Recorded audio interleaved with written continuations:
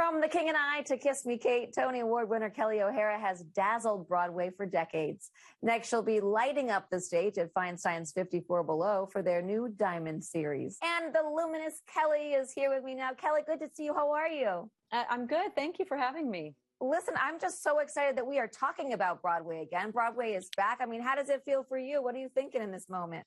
Well, one of my biggest things all year was wondering about my friends and worrying about all the front and back of house, you know, yeah. wondering what was going to happen to everybody and myself included.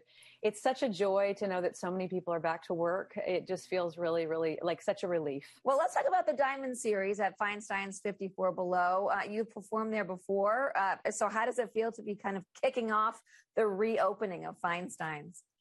Uh, I'm so excited. You know, I have performed there before for a lot of different reasons, but I've never done my own. I sort of put off doing my own show there, you know, doing the, but this Diamond series felt very special. Uh, obviously we planned it before the pandemic. Yeah. It's going to be, it's going to be nice to be in a, in a small personal room like that. Yeah. And so talk to us about um, what you're going to be performing. Well, I, I want to touch on some things that I've missed singing, some things that from my shows, but I've also had a, a, a moment to reflect, as we all have. So some gentler things, some positive things is really important to me because even when I don't feel that way, um, I want to bring some light uh, and and positivity into that room. Yeah. What are you most excited to sing on stage again? Oh gosh. Um, I, I, probably have to say Bridges of Madison County. I uh. I just want to be with with musicians singing that music that is so deep in my heart uh, maybe with some special guests and uh, and and really living in that moment again. Yeah. Well, you also recently performed at the 9/11 memorial service. You know, as being such a an important part of New York, a, a New Yorker, what was it like? What did it mean to you to be uh, performing there at that moment in time? You know, it felt so different than just being a performer. It felt like I needed to offer some sort of service.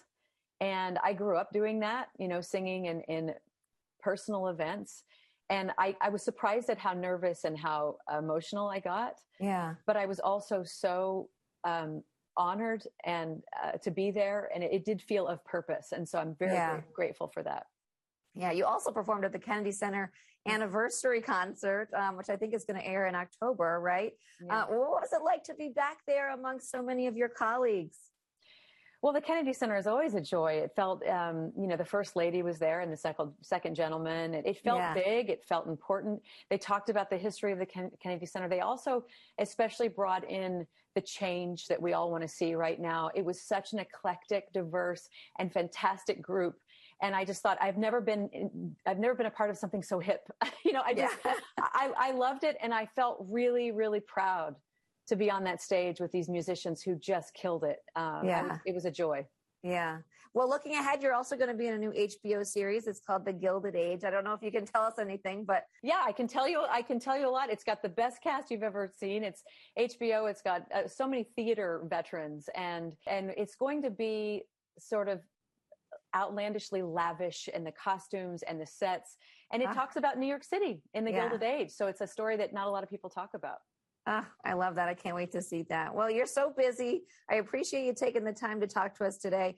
You can catch Kelli O'Hara at Feinstein's 54 Below September 28th through October 3rd.